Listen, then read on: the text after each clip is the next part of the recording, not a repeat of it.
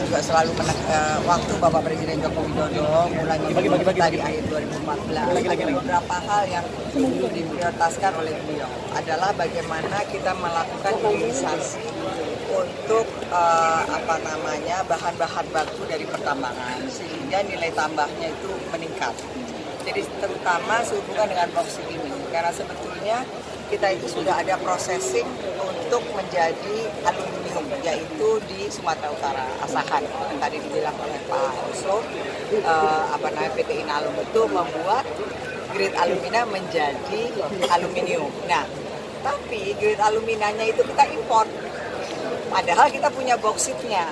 Nah inilah eh, realitanya untuk bagaimana kita merubah itu semua sehingga kita punya bahan baku, kita bisa proses lanjutan, kemudian kita bisa menjadi produk akhir.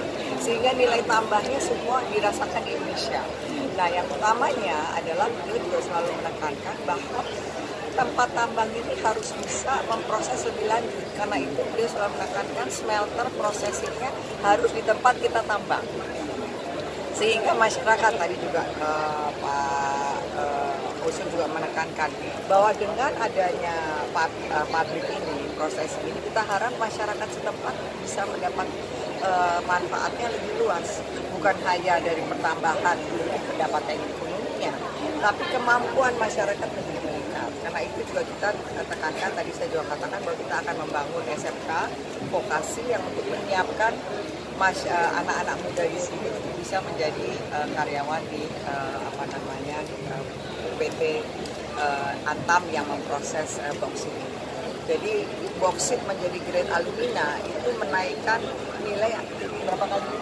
Tiga kali. Tiga kali lipat nilainya. Jadi kalau kita hanya ekspor uh, boksit aja umpamanya harganya 10, tapi kalau kita proses lebih lanjut harganya 30 Nah inilah hal-hal seperti ini yang harus kita tekankan terus. Jadi memang kita ada ini, ada batu bara kita proses lanjutan, nikel kita proses lanjutan dan lain-lain. Terima kasih.